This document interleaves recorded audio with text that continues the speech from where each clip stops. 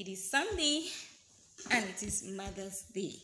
So let us have a chit chit chat concerning mothers today.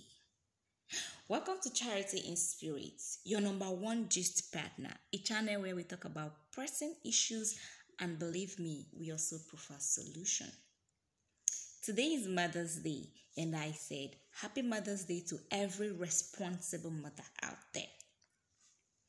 I heard a lot of women shouting, I am proud to be a mother.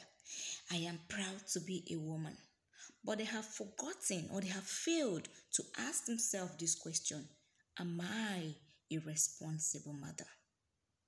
Am I a responsible mother?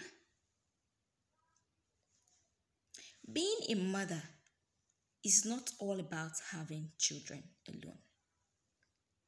Being a mother is beyond having children.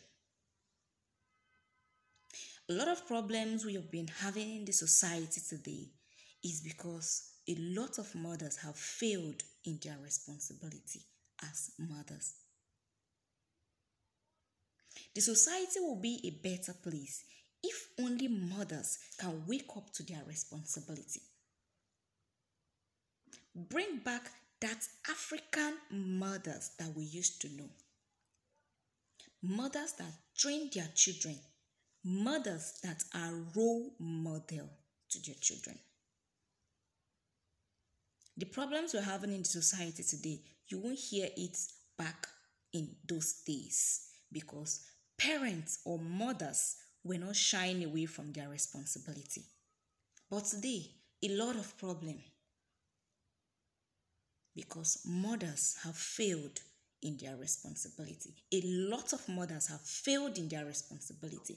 And if parents or mothers don't wake up to their responsibility, society will still get worse.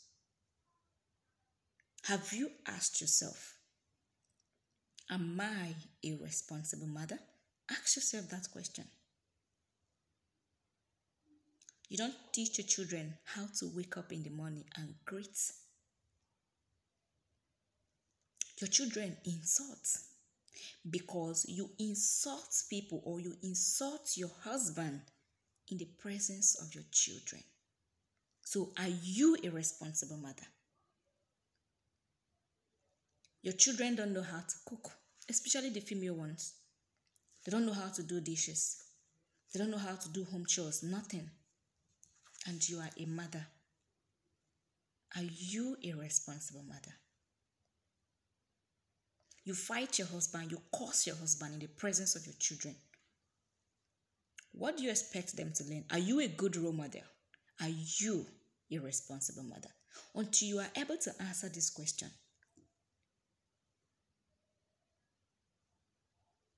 Even the Bible say, train up a child in the way he should go, and when he grows up, he will never depart from it.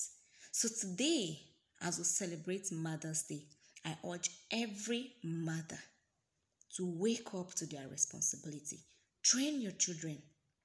Bring back the African mothers so that our society will be a better place, a good place to live. I am a mother, a potential mother, a mother with swag, and I am proud of me. Happy Mother's Day to every responsible mother out there. Thank you.